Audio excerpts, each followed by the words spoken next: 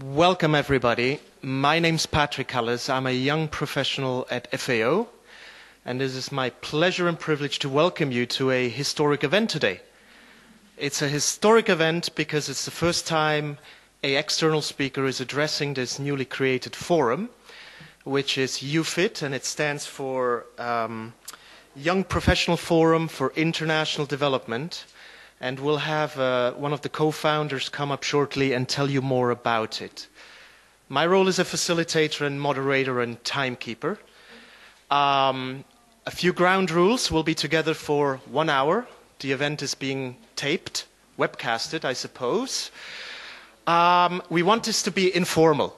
We want this to be inspiring. We want this to be interactive. So for that, we have asked our guest today, to keep his remarks to five to ten minutes and uh, be available to answer any of your questions and thoughts that you have during about half an hour. So, uh, one important ground rule uh, we live in a new communication age. Do put your cell phones on mute. Never hurts to check that. And uh, without further ado, let me introduce Christian Derlagen, who is the co founder of YouFID, and he will tell you a bit about what this forum is all about. Christian.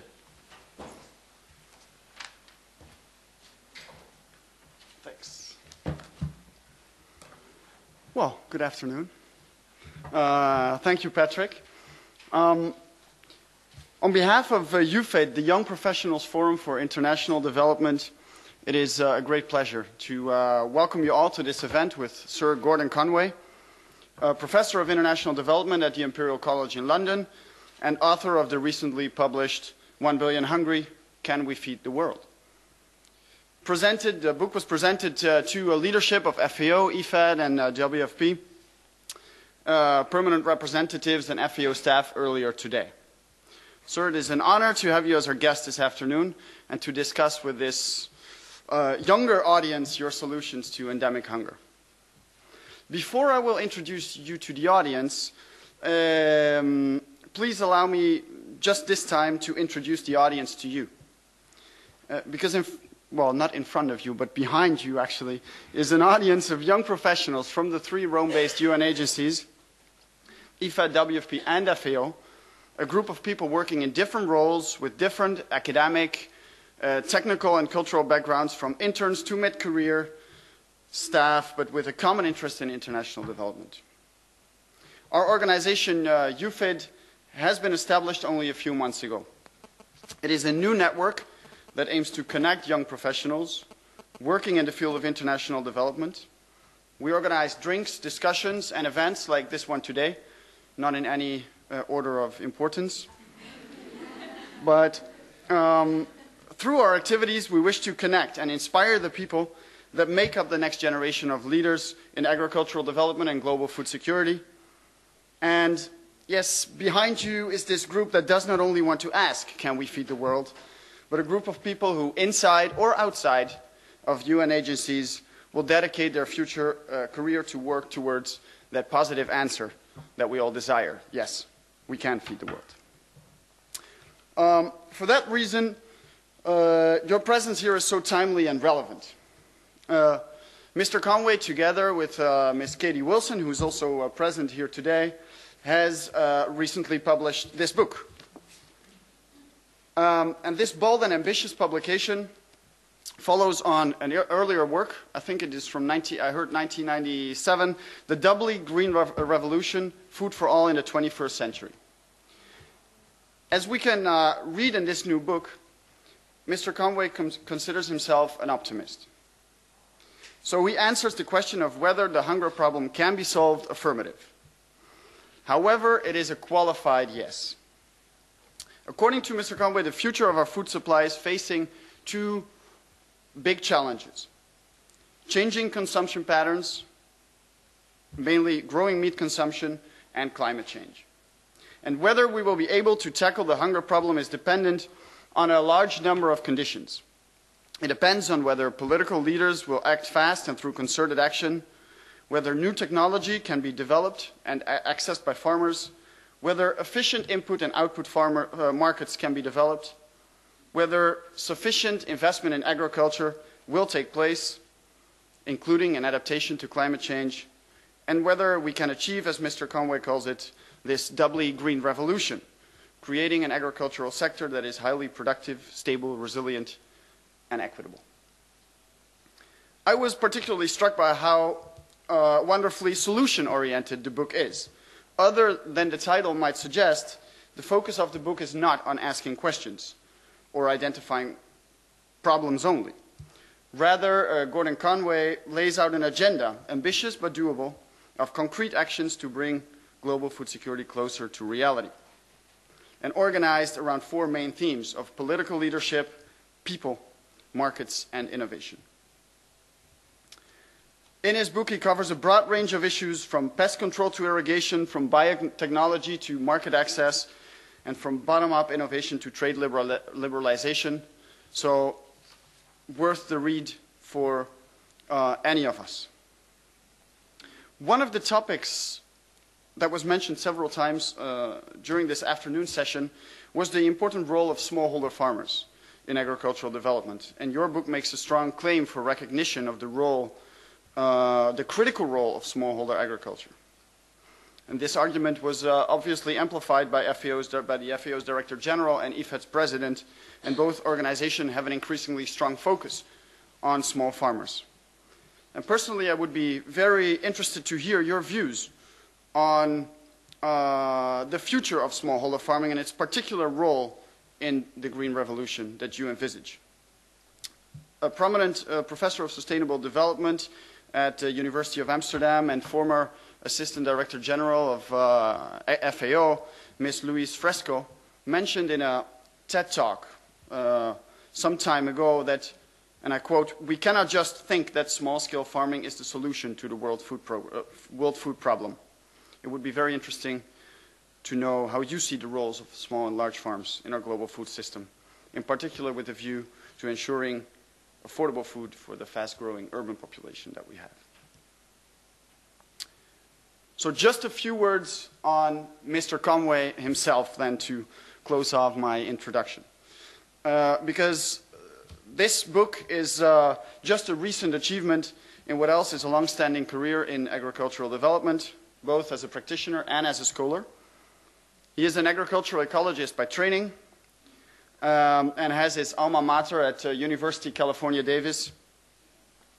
As a young professional, he worked with the, as a young professional, I have to say, he worked with the Malaysian government in North Borneo, implementing integrated pest management. He became a professor at Imperial College in 1970 and worked as a senior professional for the World Bank, USAID, and the Ford Foundation. More recently, he was president of the Rockefeller Foundation, chief scientist at the UK's Department for International Development, DFID, and president of the Royal Geographical Society. In 2009, he returned to the academic world, and back at Imperial College in London, he heads the Agriculture for Impact project, an advocacy initiative for productive, sustainable, and resilient agricultural development in sub-Saharan Africa funded by the Bill and Melinda Gates Foundation. In other words, uh, to all of you, this is your chance to ask the questions you always wanted to ask to one of the most prominent thought leaders on global food security. And before we will hand over to the audience, to your questions and uh, all the issues that you want to raise, let me please first give the floor to Mr. Conway. Thank you.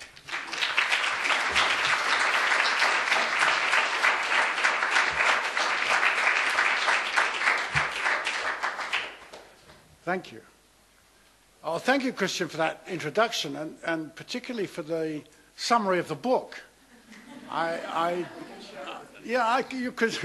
let's please, we'll have it on the web, and then I can refer to it. That, that was very, that was very insightful. Well, as you can see, I'm, I'm slightly out of my depth here because I, am no longer a young professional. Um, I was once, as Christian said. That was a hell of a long time ago, and I must have been extremely young at the time. Uh, and in a sense, I, I can remember it. Um, I, my first job was in North Borneo when I, I arrived there, I was about 22, I suppose. And I was the government entomologist. I mean, the whole shebang. And at one point they said there were some elephants who were causing problems. I said, no, I'm an entomologist. And they said, you're not. You're the pest control guy. So I had to do that. But, I mean, what happened was that when I got there, the, they said, um, you better go around and look at the cocoa on the other side of Borneo. And so I, I got on a boat and went all the way around and got there. And I went to look at the cocoa that was being grown in the forest. And there were no leaves on the trees. There was literally not a leaf on the whole tree, any tree around. I sort of looked at all of this and I thought, God, what's going on? And I asked the, the growers, I said, you know, what's happening? He said, well, there's all these pests. And I said, and I said, what are you doing? He said, we're, we're doing a great job, I said. We're spraying, we spray at least twice a week. We spray cocktails of DDT, dieldrin, endrin, and heptachlor, and, you know, it's fantastic. And I, you know, I got, you know, when you're a young professional, you've got sort of some clues, but you're never really quite sure whether you know what you're doing. But you, you do know enough about some things. And, and so I thought, I think they're killing off the natural enemies that are attacking the pests. You have to remember this was only a few years after Rachel Carson's book, so it, it wasn't unusual to think that pesticides were a good thing. And I thought, I think we need to stop the spraying. Well, I sort of said, you know, to the growers, I said, I think we need to stop the spraying. And they just said, come on. Know, what the hell do you know? You're 22 years old, you come straight from Britain, you've come out of a university. What do you know? I said, well, I think you ought to do it. Fortunately, I had a good boss. Now, this is very important for young professionals. Whatever you do, choose a good boss. Right? That's really crucial. A good, not so much a role model, it, that may be important in some respects, but in general, you need a good, supportive boss who will listen to you, will treat you as though you're not a young professional or that you're sort of, you know, getting on a little bit and will help you. And so he said, yeah, I think you're right. This man had been through the war, had been imprisoned by the Japanese over the whole period and so on and so forth. So he'd been around a lot. So he said, okay, so we'll stop the spraying. And we stopped the spraying. In those days, you could do that. You could say, no more spraying, and they stopped. And uh, six months later, the pests disappeared, and for 30 years, they never came back. So that was a good start. And if you can get a good start like that, it helps a lot. I'm meant to be talking about the book, but I'm really talking about me, which is unfair. Now, look, the book says there are three big challenges we face. One is repeated price spikes, food price spikes. We're just coming out of the third one. Uh, secondly, we've got about a billion people hungry. Let's not get into how many, is it 870 or is it you know, a million or whatever it is. It's about a billion. The, the FAO figure of 870 million is based on people doing what you're doing, is sitting around listening to me. It's not based on what you need to lead an active life as a farmer. So I reckon a billion's about right as a ballpark. And thirdly, we've got to feed the world by 2050. And FAO says six, we've got to increase the, the food production by 60% and 100% in developing countries. I think we've got to worry about, uh, about uh, climate change and extreme events. And I think that by 2050, we're going to have extreme events like you wouldn't believe, and we're going to need big food stocks. So I would go for greater than 60%, but that's just me. Now, the question is, how, how do you deal with this? And I, as, as, as Christian said, there are four ways that I'm suggesting you deal with this. One is through innovation. Two is through markets. Three is through people. And four is through political leadership. And at the core of this, and this is not explicit in the book, but it's become much more explicit after we published the book. And it mirrors what FAO has done in its book, Save and Grow. We have to pursue sustainable intensification. There's not a lot of new land out there.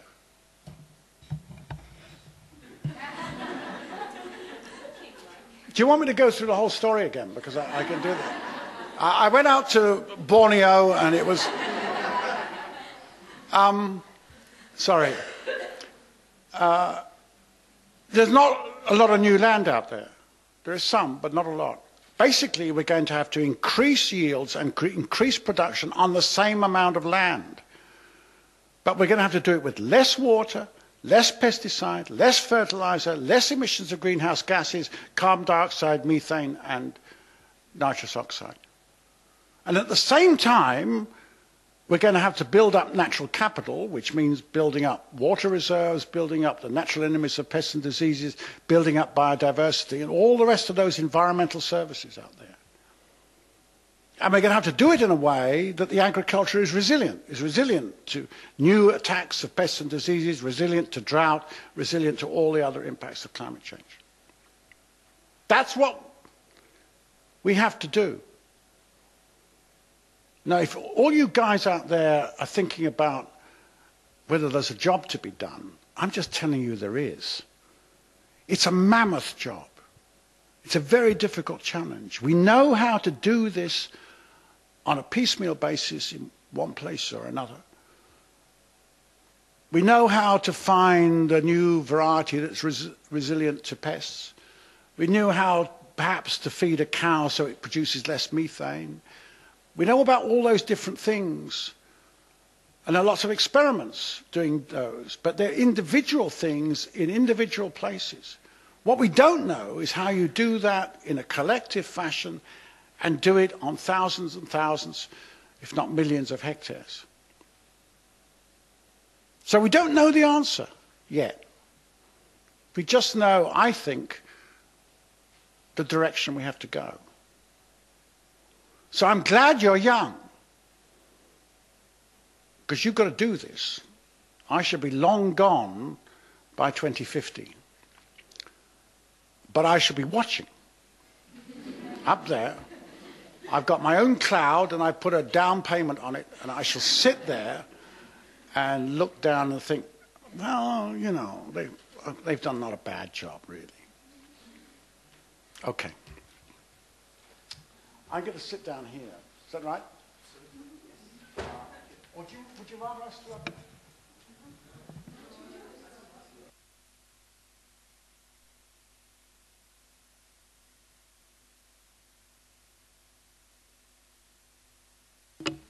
Okay. Right. And, and does the camera work? Right. It's very important to all of us.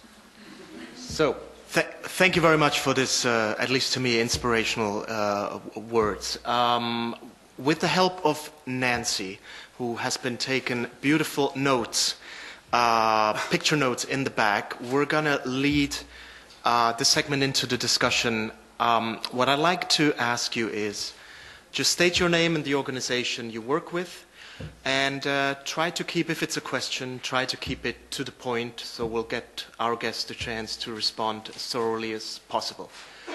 Um, so, any courageous, brave young professionals that want to break the ice? I see one. And there's a microphone going around. Okay, let's try. Okay, it works. Hi, uh, my name is Constanza and I work at FAO. It's a bit of a wide question, but what do you see the role of the international UN-based organizations in this plan that you've got? So,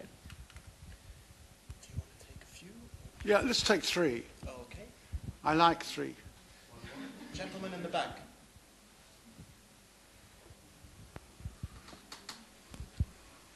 Uh, hello, my name is Ivan. I work at FAO. And you mentioned um, systematic intensification of production. And I was just wondering about your thoughts on SRI or systematic rice intensification and the arguments for and against it.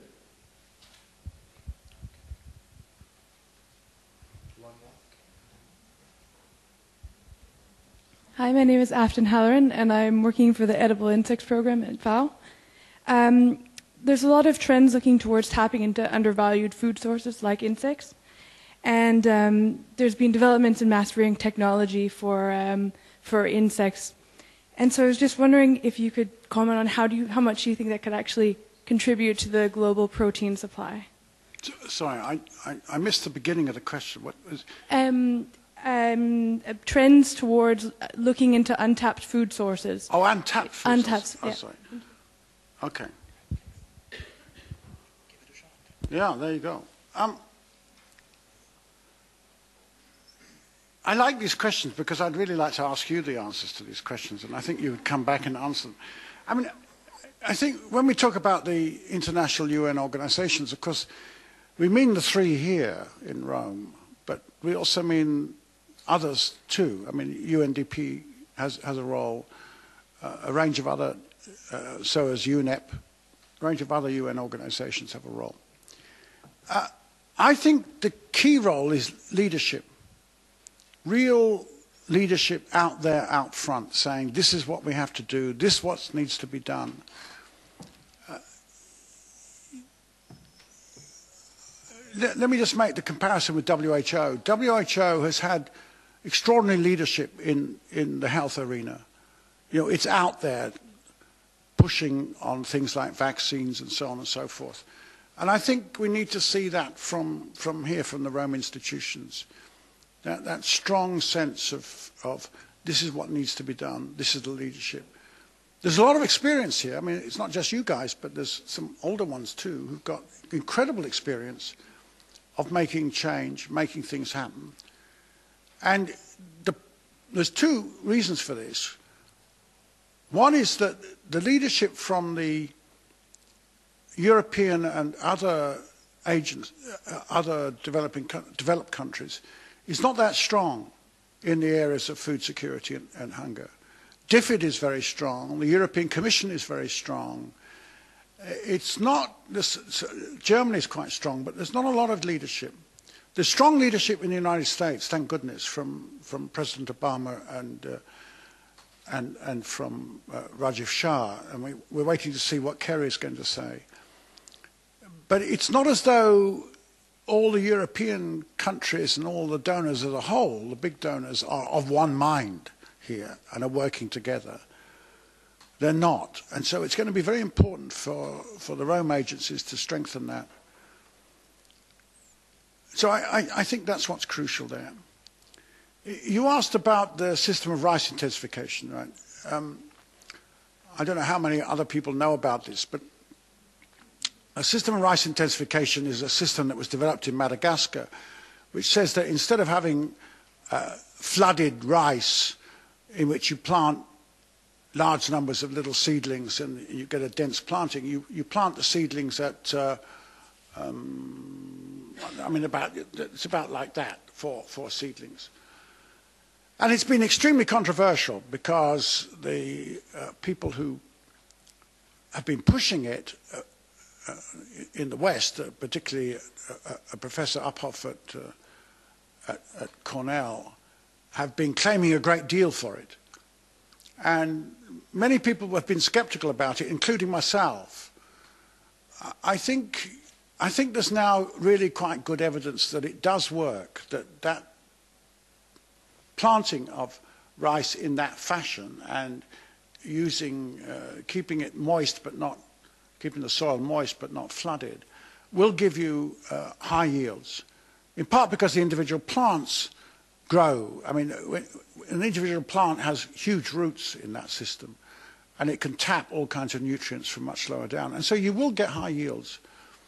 Um, those of you who want to hear the full story should talk to uh, Dr. Amir Kassam, who works part-time here at FAO and runs the conservation agriculture network, but he, he also knows a great deal about SRI.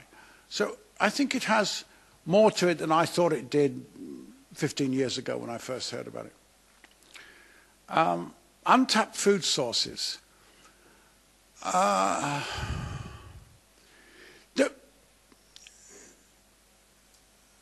I think there's a lot of food out there in wild plants that we could be spending more effort on. Uh, I think particularly fruit-bearing trees. I was in northern Ghana recently, and uh, you look down on the rice fields in northern Ghana, and you can't see the rice because they're all covered with trees. But actually, there's rice growing there, but they're under trees that produce shea butter. And um, I don't know if most of you know what shea butter is, but it's a really high-class cosmetic, and you make a lot of money uh, selling it. You don't make a lot of money out of growing it, but you can grow it. So I think there's something there, but I don't personally feel that's going to make more than a small percentage change in, you know, in our food production. I'd like to be convinced that that was that I'm wrong, but I don't see it. I mean, if anybody's got an idea about a crop, a potential crop from a wild source that we haven't really explored further, about insects. I'm sorry, I missed it. Yeah. Yeah. One of the troubles about not being, not being a young professional is you get deaf. Um, no, sorry, I, I, I, I wasn't loud enough. But um, there's trends now looking towards untapped food sources, and insects has been deemed. Oh, I see. I, Uh, I, I missed. I got the untapped, and I got. yeah, sorry about that. And Okay. and so there's been developments working towards mass rearing technologies, but I mean the realization of this is not on it. It's it's very limited right now. So I'm just wondering if you could make some kind of comment because I know you have an entomology background of how you see insects playing a role in, in protein, um, which it already does in many parts of the world, Yeah. but on a on a much more larger scale. Thank you. Yeah, I don't know about the larger scale. I, I know. Sorry, I now know what you're talking what you're talking about. Um, uh, one of the things I did in Borneo when I first started was control locusts, and uh, we were spraying them, of course. And uh, uh, I always used to send the, the driver and somebody else ahead of us spraying so we could capture a lot of locusts for lunch. And so we got the locusts, for, which we ate every day. Um, and, and, you know, the point about locusts, like everything else, I once went to China and I was the head of a delegation in this little village and they put down in front of me at lunch a big bowl of scorpions all with the tail stuck on. And the whole of the rest of my team said, "No, we're vegetarians, they said. You know. So I had to eat the scorpions on my own. And, and the point about most insects is if you put them in a wok with some oil and fry them up, they taste like anything else that's been in a wok and you fry them up. So they're, they're okay. I, I, uh, you know, I, I just don't see it. I don't see it on a big scale. It seems to me that it's going to be much more a delicacy type thing, but maybe I'm wrong. I mean, I know lots of children eat grubs and caterpillars and stuff. I don't, you know, and, and that happens. Um, I'm sure there's a whole literature about it. You know, you're nodding. You, you go on Google and you say insects to eat, right? Oh, God, I should have known. I've walked right into it, haven't I? Well, I'm really pleased you've got an edible insect program here, right? Um, I'm sure that that's a good thing. I don't think it'll change. I, I don't think it'll change the world. Yeah. Okay, I saw you had your hand up just before. Go for it. Wait. Uh, no, sorry, sorry. And then, then you. Yeah. Yeah. Um, okay, my question probably will be longer than the answer itself, so I'll start off now. Um, this is, uh, a, I mean, I come from a part of the world which is um, in a transformational stage, South Asia, uh, particularly from India. Now, you would see that China, India, all these economies, they're in a stage of transformation, and they were, for example, once upon a time, India was the sick man of Asia. And even today, you have, I don't know, I mean, um, I mean, I think hundreds of millions of people who go to bed hungry every day. And the case is the same is the case with Bangladesh, Pakistan. So all these countries, they're in a transformation stage. They're growing, going up the ladder of, you know, economic ladder. But in this process of transformation, I fear that somewhere down the line, though for all the claims of poverty, you know, taking people out of poverty, there'll always be that bottom 10%, 20% who'll be left. And in your book, interestingly, it said that for every 1% growth in that agriculture contributes to the GDP, the expenditure of the poor, bottom 10%, increased by 6%. And the reverse phenomena here is true in South Asia because you have the share of agriculture going down. So how do you see the future of these bottom 10, 20%? You know, no matter how much you do for them, it's probably, we will always have them left out of the loop. So what would you suggest in this case? I don't know if you have dealt with it, it, it, it, in detail, but Um, I would like to know what would you think about that. Thank you. Let's two more. Is this on? Yeah. Uh, I'm Aslıhan Arslan, uh, agricultural economist at FAO. Um, my question is like comparing the original green revolution to the new green revolution that we need. Uh, so I've studied a lot about the green revolution's impact on lifting millions of people out of poverty, mainly in Asia, and why and how it failed in Africa. And then now we're doing the same things again. We're studying the same things in different contexts, different countries, and the constraints end up being always almost the same to me. You know, it's just the same old music to my ears. It's just like, okay, institutions, and then you have land tenure, you have credit and insurance, all these things. And I'm wondering how, what do you think, why it worked in the original Green Revolution, and what are we doing wrong now? So th- these things that we already have, you know, drought resistant or short maturity, all these crops that we have already on our table, why can't we get them to work? It's just, I'm always wondering it every day. Okay, one more. The questions are getting more challenging. Very good. Okay. Okay. Yeah. Hello, I'm Lauren Lepage. I work for Purchase for Progress at WFP. Smallholder agriculture is, of course, very important, but I think an issue that is often overlooked is actually sustainable market access. While we look to the UN for leadership, what is the place of the private sector in stepping up into that leadership role to ensure that they are taking advantage, or at least procuring from smallholder farmers? Good. Uh, by the way, this afternoon there were hardly any questions, um, which is sort of interesting. Uh, I think people were somewhat inhibited by having all the buses there. Uh,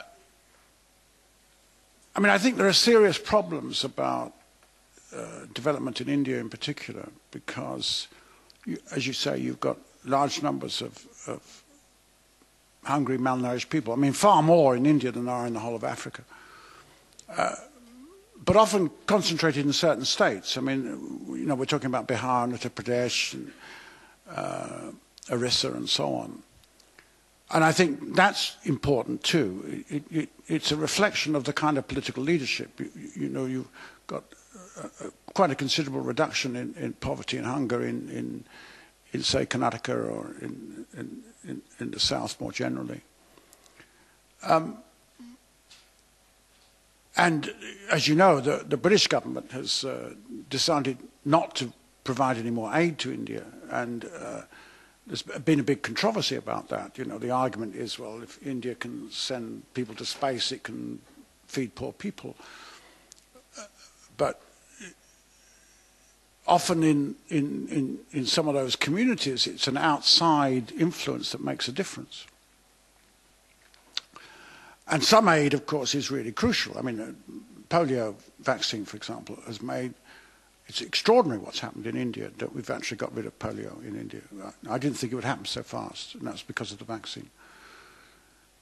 I think one has to look at other countries. There, there are countries that have been successful. I mean, I've just come back from Thailand. I got back on, on the weekend.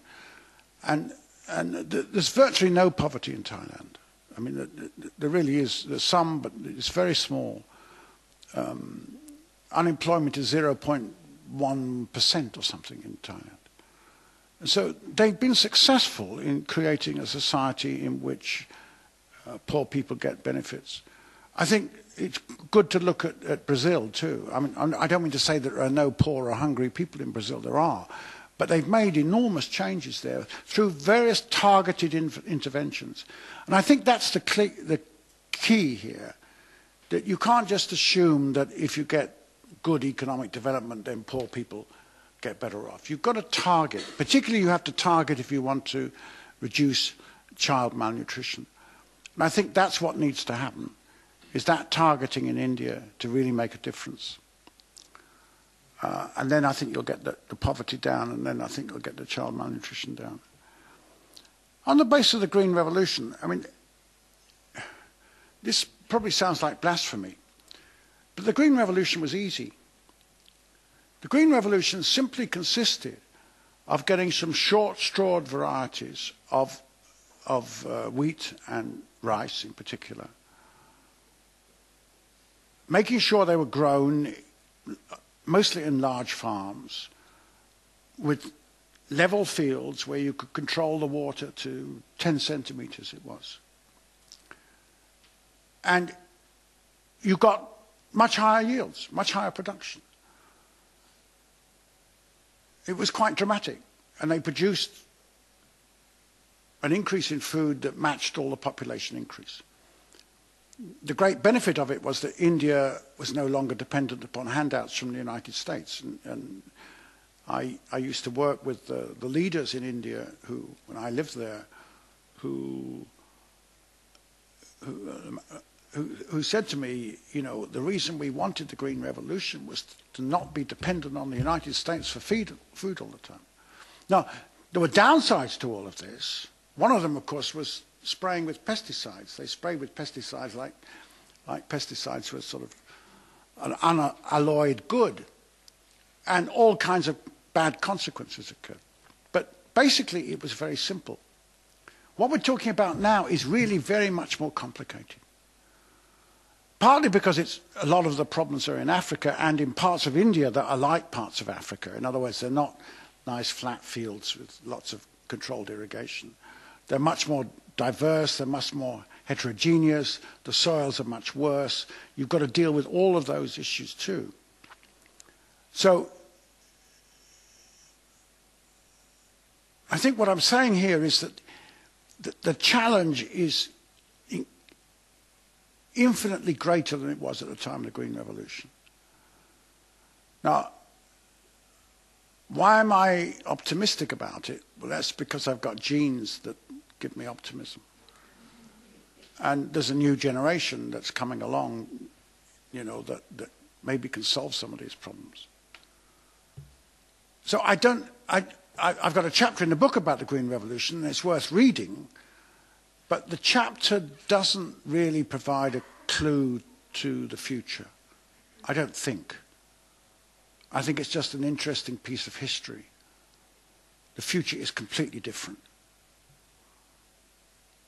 The private sector, well, the private sector is crucial because, first of all, farmers are in the private sector. You have to keep remembering that, right? Farmers are members of the private sector, except sort of in Cuba, I guess, and, uh, and maybe in parts of China, but even in parts of China now, they're part of the private sector. All farmers are part of the private sector, right? And all farmers ought to be in business, right? You, you know, you know, there's a, there's, a, there's, a, there's a real danger here that we tend to see small farmers as being like hobbits, you know. They're lovely little people and they live in little farms and they have chickens and ducks and they, and they, they sing and dance and, and in Britain they go around a maypole and all the rest of it, right? And, and that isn't what small farmers are. The small farmers are struggling like mad to get enough food to feed themselves and to feed their children. And what you have to do is to get a situation in which, if, at least if they've got a hectare, they can grow enough of food on half the hectare to feed their family, and then the other half they can grow something to sell, and then they can get some money, and then when they've got some money, they can send the kids to school, and they can buy medicines when they need them. It, it's, it's fairly straightforward. Now, of course, when you go below an acre or so, it, it gets really very difficult, and that's another question to talk about. So the role of the private sector is, is to provide them with, on the one hand, inputs, so they can buy seed and fertilizer in small quantities. And that's what these agro dealers are that you find now all over Africa. Little mom and pop stores, as Americans call them, right? Where you can buy seed and fertilizer in small amounts with small amounts of money. And then they have to have output markets where they can take whatever they produce. Let's say it's bananas or something. They got a nice crop of bananas and they want to sell, they've got to be able to go to a market and get a good price. And, and they need a choice of places to go to. So they can, maybe on the mobile phone, they can find out they can get more for bananas down there than they can here and so on and so forth. They need to get a good price. It needs to be accessible. And these inputs and outputs need to be nearby. they aren't going to travel 100 kilometers to go and sell their grain. They aren't going to travel 100 kilometers to go and buy some seed or fertilizer. So that's where the government comes in to provide the roads and to get it to happen. But it's the markets, it's markets that make a difference. Farmers need access to markets so they can make some money and then they'll get and then their young kids will go to school and become young professionals, right? I bet some of you have come from quite poor backgrounds. You know what it's like to have to raise, to get enough money to get to school, maybe to get to university, maybe to go somewhere else. And there's no reason why all those poor farmers in the world can't do the same thing. Okay? So with that, I'm a little bit mindful of time, but we have plenty of time to go. I'm looking at Nancy, whether you want to share some of those uh, graphical illustrations with us. Okay. And then we'll do one more round for Sir Gordon Conway. Um, I guess I should. Can you hold the microphone, or can you hold the paper and I'll hold the microphone? This is this is a collaborative field. We can't do it by ourselves. So, as another uh, honorary young person, 55, right? Hold it up high. I, I was particularly taken by your start with a personal story. And, and then I was taken by the depth and the intellectual rigor of the questions. And so it, it really produced a conundrum for me. It made me wonder. So this, I'm not sure if this question is up to the front or to you guys, or maybe to both. But what questions should each professional in development be asking themselves about how they are contributing to solutions or how, how are we perpetuating things that aren't solutions? Which to me is a really difficult, thorny question. So it might be interesting to see what you see as we sit on that side of the, of the, of the chasm, and then maybe what you guys see in terms of how are you making the positive difference versus supporting some of the things that are actually causing us problems. So I think that personal and intellectual intersection was very fascinating. So I wonder what you say about that. No, I'd, I'd rather they said it first. Do, no, do, can anybody shout out what you think should be your priorities as young professionals? Or one priority? It doesn't have to be all of them. Just, just shout out what you think ought to be. You don't have to talk about yourself, because that's embarrassing maybe, but what do you think as a young professional should be your priority? So, sh- shout out what? Make use of experiences. Ma- make use of experiences. Okay. Walk the talk. Walk the talk. Good. Endurance. Endurance? Okay. Come on, shout some more out. Be creative. Be consistent. Sorry? Oh, be daring. That's great. Yeah, somebody else at the back. Consistent in your approach. I mean, don't keep on shifting your focus from one to another. Yeah, don't don't skitter around. Uh, I think you should learn from your mistake and change your view as soon as you see that it's wrong. Be, be willing to accept Yeah, that you're wrong. when yeah, yeah. I mean, consistent about your goal, not your Some somebody over here. Somebody here was going to shout out. Be curious. Leadership qualities. Leadership. Acquire them, or observe them.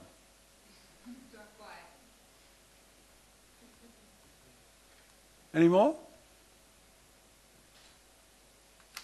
That's pretty good. I think they're playing it safe. Do you do?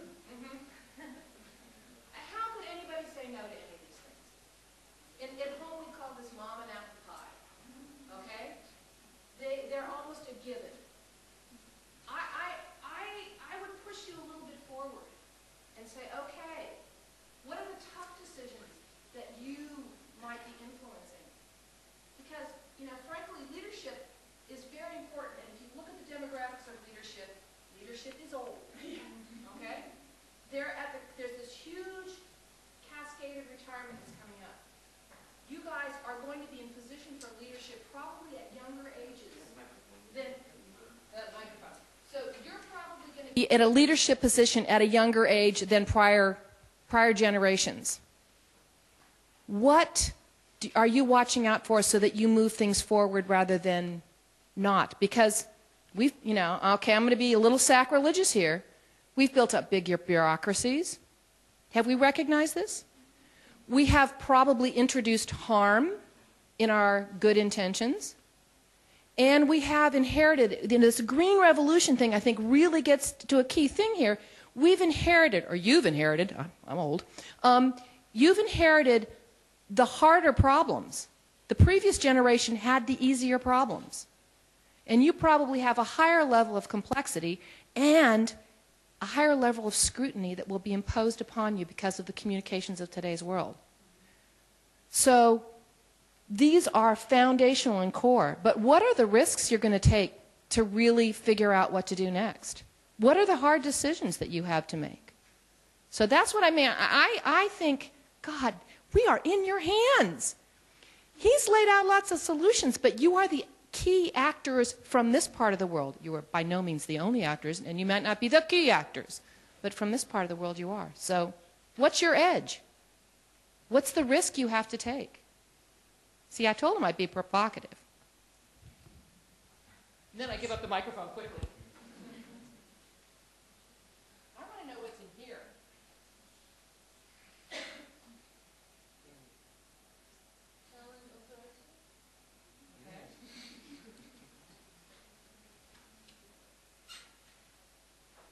Can I add to that? Challenge assumptions.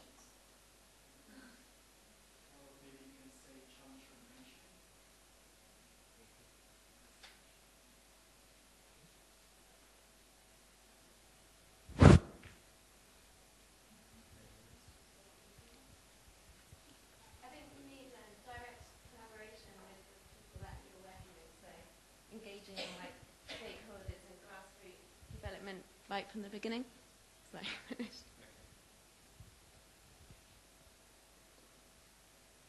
Okay?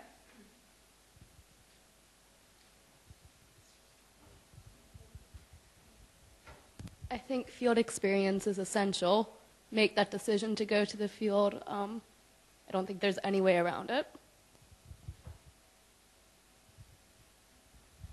Recognize that with any decision there will be trade offs and be able to defend those.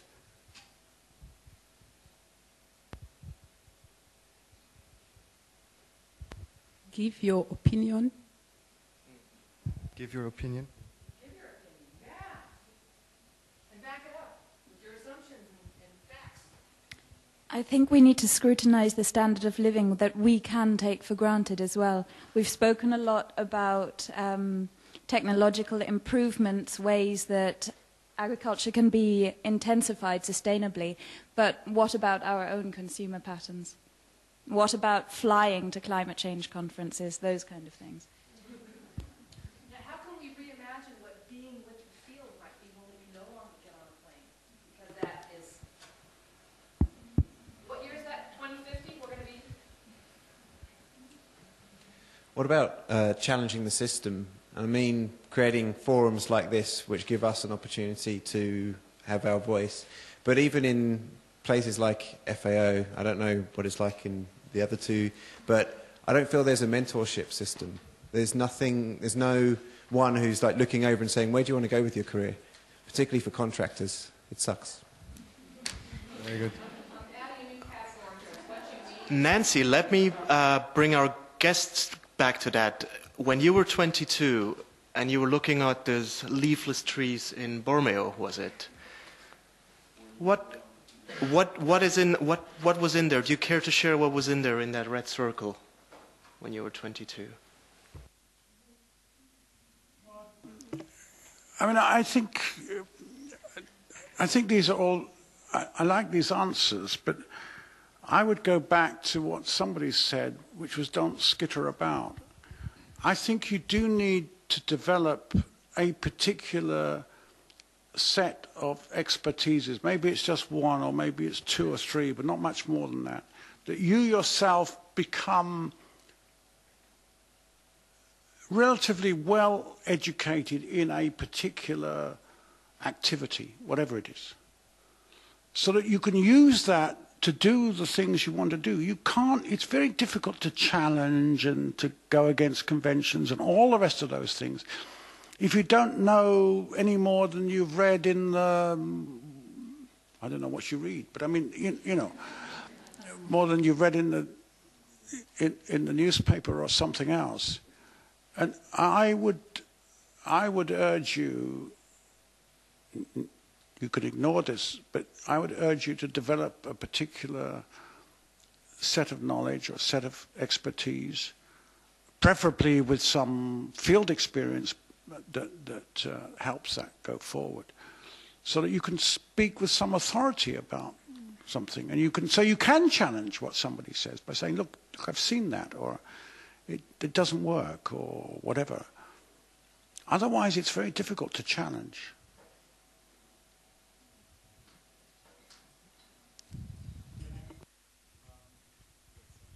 talk about something about all that we stated in, the, in, in that red circle out there. Um, I, I would love to see how many of us, including me in this room, would want to leave the cozy job in, in, in Rome and go out to some field in Burkina Faso and work in the field for 11 months or 12 months. Uh, without the Rome DSA, of course, the DSA there would be horrible. So I can only imagine. I mean, I, can, I would love to see how many people would like to challenge the opinion of the director of the division at the expense of not the contract not being renewed.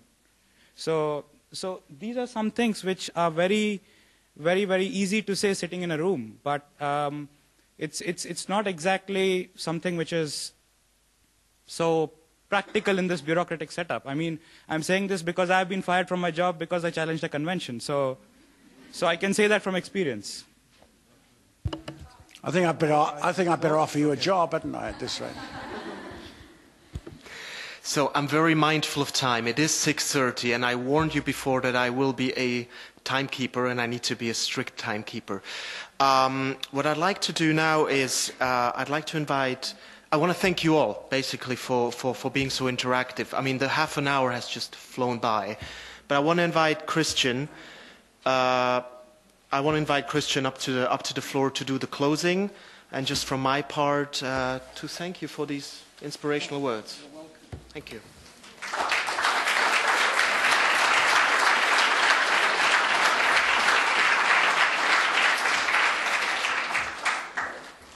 I, I, hadn't even prepared my uh, our, our gift yet, but uh, well, I, I think anyway uh, it was a very interesting exchange of uh, questions and, and, and ideas and opinions that we had, and I think it was a great uh, next step in what uh, I hope is going to be a very interesting year for uh, YouFID with uh, a lot of events and um, a lot of uh, participation from you all. I would like to uh, thank Mr. Gordon Conway for making time to, to be here. and we brought you a little gift and, well, even a card, a handwritten card. You know, where do you still God, get in those times? I think it's.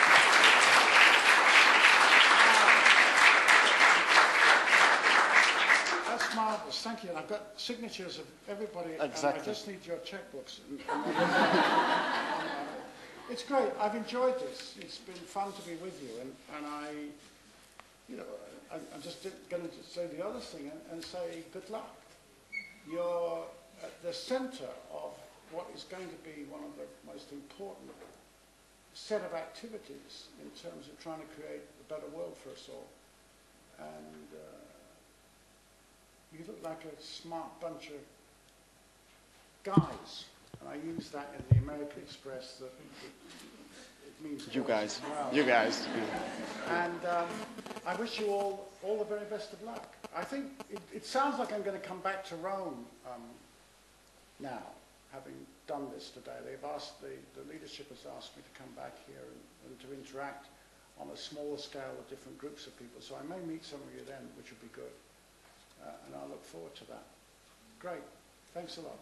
Thank you.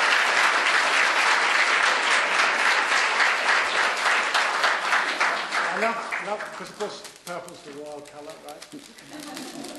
it's the colour of Caesar, you know that?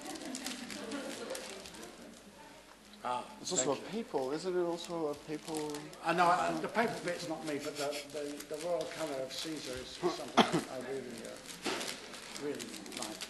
All right, thanks again. Thanks for being here. Before uh, I um, uh, say goodbye to you, thanks also to, uh, to Patrick and to Nancy for uh, assisting us and facilitating this, uh, this hour with uh, Sir Gordon. Um, do check our website and our Facebook site for upcoming events. And unfortunately, no drinks at no drinks at the door. But um, I would very much uh, like if you could come along with us uh, uh, to the uh, OTR just over the road for a drink and continue our discussions there. Um, and I think that's it. And see you at one of our future events. Thanks.